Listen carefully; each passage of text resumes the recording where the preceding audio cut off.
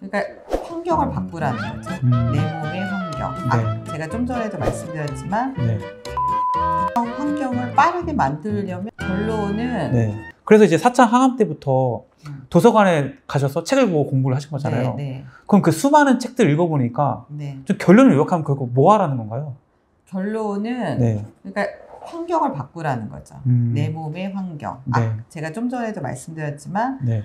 약 알카리성 환경을 빠르게 만들려면 네. 어, 산성 음식을 피해야 되죠. 산성을 일으키는 음. 음. 식이 바로 어, 육류예요. 음. 육류. 음. 네.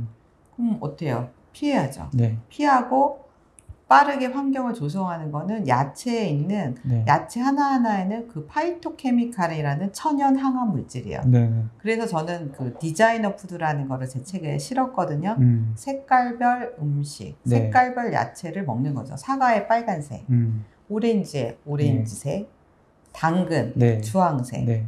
가지 보라색, 어. 그죠? 네. 또 무슨 색깔이 있죠? 파프리카의 뭐 노랑, 주황, 빨강이 있죠.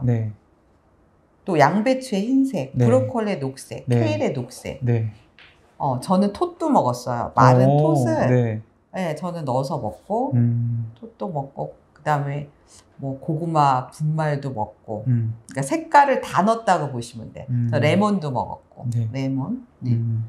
색깔별로 다 그거를 넣어가지고 먹었을 때 몸이 피부가 어, 확 살아나죠. 음. 그럼 이제 그렇게 어떻게 보면 시기를 하시고 이제 병원에 계속 다니신 거잖아요. 네. 그 의사분들이 이제 이 수치를 보고서 또 해 한 말씀이 있을 거 아니에요. 어, 의사 선생님은 그럴 시간이 없으세요. 아. 1분, 1분도 안 보죠. 음. 그러니까 의사 선생님은 그냥 이분이 지금 음, 항암제를 맞을 수 있는 수치인가만 확인하시지 네네. 다른 수치는 볼 시간도 없고 보려고 하시지 않으세요. 음. 아, 의사 선생님이 지금 막 지금 대기하는 환자들이 네. 지금 한 시간 기다려서 선생님 1분 보는 거잖아요. 음. 선생님한테 물으셔도 안 돼요. 네. 선생님을 그런데 이제 낭비해서도 안 되고 음. 선생님은 항암 스케줄 짜주시고 우리를 위해서 수술도 해주시고 네. 방사 스케줄 하- 이거 하기도 바쁘신 분이에요. 음. 그러니까 시기는 본인이 해야 되고 네. 혈액 검사 그거 검사지 받아서 내 수치 변화는 내가 관리해야 되는 거예요. 음. 그래서 제가 제 책에 그걸 어떻게 하는지 자세히 써놓은 거죠. 선생님은 딱 호중구만 보십니다. 다른 수치는 거의 안 보시고 어, 호중구 맞, 항암 맞을 수 있는 네. 수치다. 아주 낮지만 않으면 네. 고 오케이 오늘 잘 맞으세요. 아주 좋네요. 그래서 음. 환자들은 정말 자기 수치가 너무 좋다고 생각을 하는 거예요. 음. 제가 혈액 검사지 좀 봅시다. 그러면 네. 선생님이 다 좋다고 했는데요. 아 좋은 범위가 굉장히 넓다. 아까 제가 pH 얘기했지만 4에서 음. 8인데 음. 좋은 거는 7.4라고 그랬죠. 네네. 백혈구도 4에서 10이에요. 음. 좋은 거는 5에서 6. 근데 항암을 하면은 4가 아니고 3, 2, 음. 1 이렇게 떨어져요. 그러니까 그, 선생님은 네. 3만 돼도 좋다고 그러실걸요? 음. 2면 어 오늘 백혈구 촉진 주사 한 대 맞고 가세요. 네. 이, 이 정도밖에 언급 안 하세요. 어. 그러니까 이게 뭐 암에 걸려서 암 치료 과정에서 이제 음. 몸에 좋은지를 보는 게 아니고 항암제에 그렇죠. 맞기 좋은지를 판단하시는 아 거군요. 그렇죠. 네 그거 포인트죠. 네. 음. 그러니까 여러분 착각하면 안 돼요. 아, 항암제를 만, 맞을 수 있는 몸이 건강한 몸이라는 아니죠. 걸 표현하는 건 절대 아니다. 음, 음. 근데 대부분의 환자들은 아 내가 몸이 좋아지고 있구나라고 잘못 알아듣는 거죠 어떻게 보면. 그쵸. 아, 나 지금 되게 좋구나. 항암제를 음. 맞을 수 있으면 좋은 거다. 네. 아, 라고 생각하는데, 음. 그거는 잘못된 생각. 그래서 이제 책에서 이제 전체적인 암 치료 과정을 알아야 된다고. 그렇죠. 음.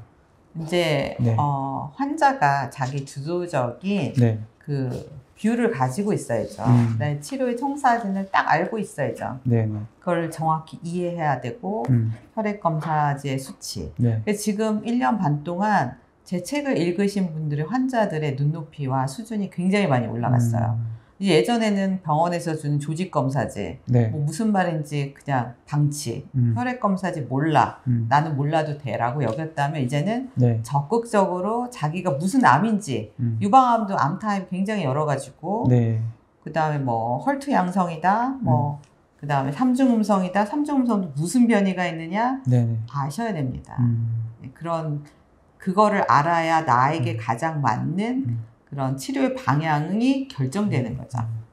그럼 이 영상을 보시는 분들이 아마 암에 관련된 사람일 음. 가능성이 높은데 네. 좀 항암 중에 좀 할 수 있는 식사법 어떤 거 추천하세요? 저는 네. 가장 간단한 방법을 음. 그래서 제가 이름을 몽땅 주스라 해서 네. 몽땅 갈아라. 네. 왜냐하면 뭐 생야채, 샐러드도 좋은데 네. 샐러드는 풀떼기로 이렇게 부풀려 있어 갖고 음. 그 사실 얼마 먹는 게 아니에요. 음.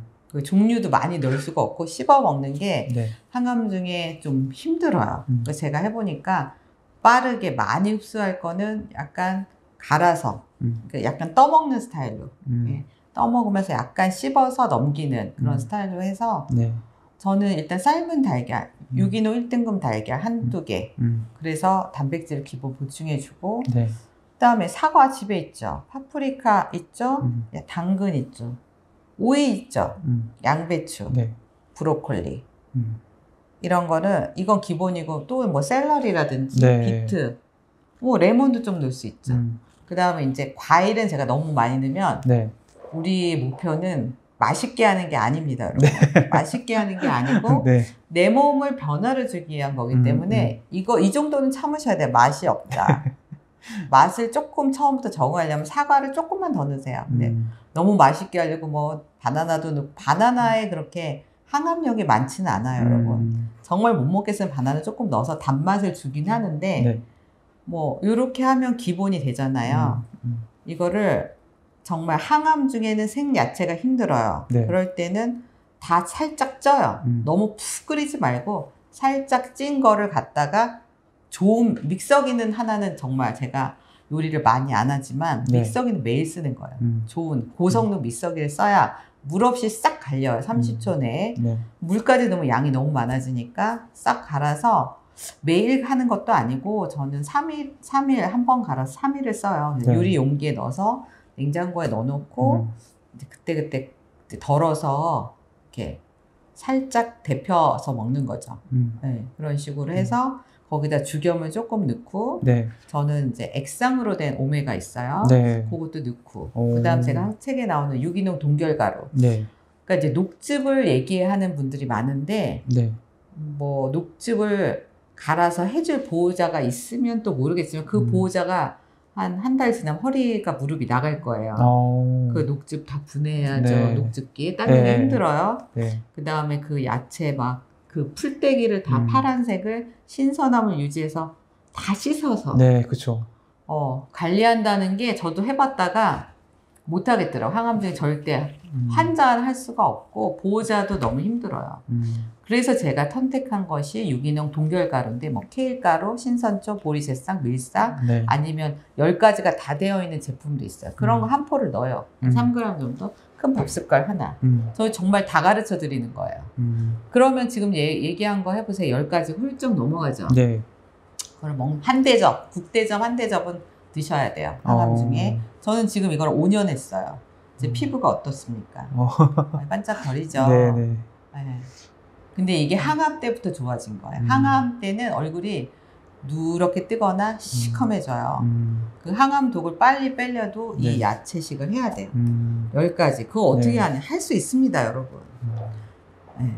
그럼 이거는. 네, 그럼 이거를 음. 뭐 이제 국대접 한대접 말씀하셨는데 음. 뭐 많이 먹는 건 상관없어요? 많이 먹는 건 상관없어요. 어, 배가 완전 부를 때까지 먹어도 네, 상관없어요. 상관없어요. 그리고 이거를 그럼 이제 뭐 삼시세끼 이렇게 먹어야 되는 건지 아니 아니면 아니야. 네. 그렇게 하면은 너무 살이 빠지죠. 네. 탄수화물도 먹어줘야 되기 때문에 네. 이렇게 한 대접 먹고 음. 저처럼 살이 좀 많이 찌신 분은 이거만 음. 먹고 음. 한끼 정도 요거 먹고 근데 살이 마르신 분은 이것만 먹으면 안 돼요. 꼭 음. 식사를 밥을 하셔야죠. 네. 그러니까 요거를 식간에 자주자주 조금씩 한 대접을 하루 한 대접을 음. 목표로 하시되 네. 어, 살이 정상 체중보다 빠져 있는 분들은 밥 세 끼를 꼭꼭 잘 챙기고 네. 단백질도 전복 문어를 살짝 쪄요. 음. 전 문어 이거 다 저는 혼자 항암식을 다 한 거예요. 네. 문어 큰 거 있잖아요. 네. 대왕 문어를 한 마리 사서 음. 한 5분 삶아서 네. 냉동실에 이렇게 다리 하나씩 넣어놔요. 음. 착착착. 그리고 한 마리씩 해동해서 음. 썰어가지고 몇 점씩 네. 항암 중에 몇 점씩 먹는 거죠. 전복도 항암 전후는 전복 미역국을 한 솥 끓여요. 음. 그래서 항암 첫째 날부터 셋째 날까지 되게 힘들거든요. 네. 그러면 이제 전복 미역국을 한 대 접시 먹어 빠르게 그 미역에 있는 요오드하고 전복에 있는 그, 그 미네랄, 미량 음. 미네랄이 제 책에 이장에 나오는데 엄청 네. 중요하거든요. 음. 그걸 충분히 섭취를 해주는 거야. 그러면 3일이면 힘이 나죠. 어, 이런 식으로 네. 단백질 섭취하시면 네. 어, 제 두 번째 책에 말기암 책에 80세 아버지 비소세포 폐암이신데 네. 저보다 얼굴이 더 좋으십니다. 음. 음.